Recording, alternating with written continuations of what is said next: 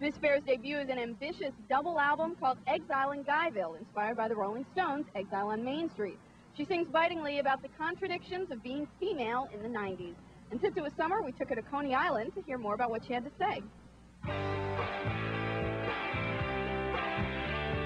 It's hard to be female and be yourself. You often kind of adopt whatever formulas exist or try and adapt yourself to fit some expectations. And I really, really, really want to remain myself.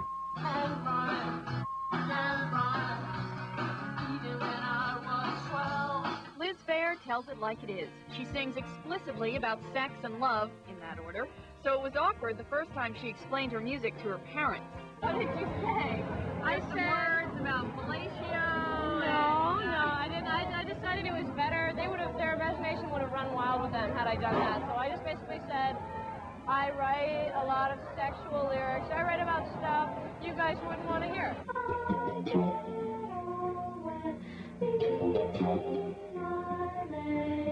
Libido is always associated with men, you know, and your libido's all over this record. Why shouldn't it be? You know what I mean? That's the thing. If the songs really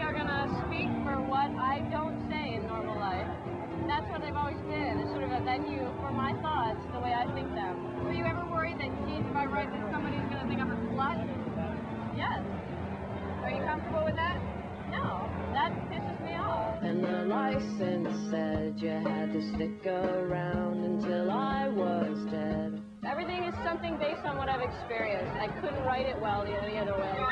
But it's not fact to fact. It's probably a compliment then if pe- after people listening to something like divorce songs think you've been married and divorced. You know, then I was like, oh, but she's only 26. Don't you feel like you have? I mean, haven't you gone out with people that it feels like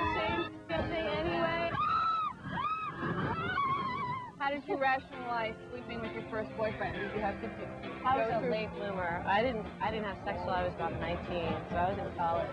I rationalized it out of sheer desperation not to remain like the undying virgin. you know, I was like, I've got to lose my virginity. You know, I was really afraid to have sex. I thought it was too small.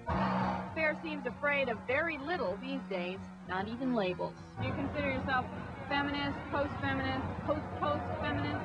If labels matter, I myself all the above. I think basically all I care about is that women have a better life in the near future. And that includes everything, both legal, social, emotional, sexual. It's all part of it.